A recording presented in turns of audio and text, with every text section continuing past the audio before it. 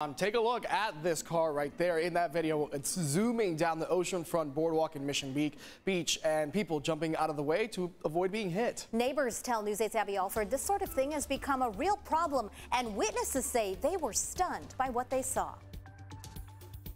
We don't know exactly where this car got onto the Mission Beach boardwalk, but video shows it was at least north of Santa Clara Place.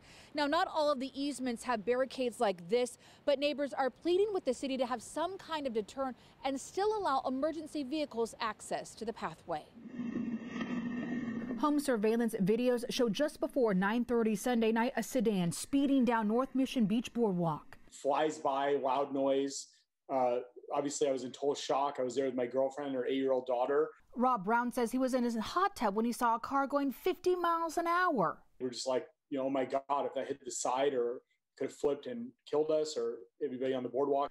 Rob says he got on the phone with police vehicle driving on the boardwalk. It's going to be a silver four-door sedan going southbound on the boardwalk, almost hit several pedestrians. He checked with his neighbor who captured this video and other people to see if they saw the silver sedan too. You know, we're asking them, did you see that car? And they'd either say, yeah, we had to jump out of the way or dive over the boardwalk. It was swerving around.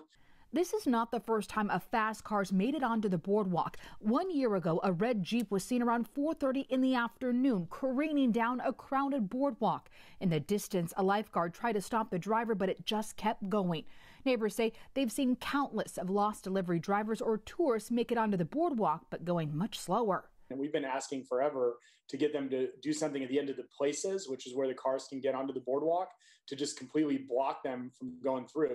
Rob and his neighbors used to serve on the Mission Beach Town Council and say they've asked for barricades or deterrents that would still allow emergency vehicles but make it much harder for drivers to enter the boardwalk. Just hopefully the city does something to prevent these cars from getting onto the boardwalk before somebody really gets hurt. Council President Dr. Jennifer Campbell, who also serves Mission Beach, says we have heard from residents, understand their concerns, and will continue to monitor situations like this moving forward. Regardless, no one should ever drive on the boardwalk.